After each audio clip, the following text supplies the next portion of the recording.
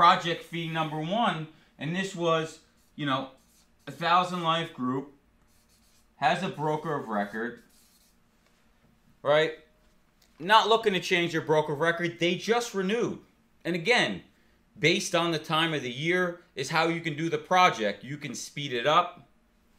If it if it's closer to renewal, this one was geez, they just renewed. I think they were they didn't even it wasn't even one one. I think it was December end of November when we started talking to them. So the reality is is you know we said listen, what I hear you saying is you have challenges in these different areas. So what we're presenting you is to do a project. We don't want to change your broker, no change in vendors, anything like that. Nobody gets fired.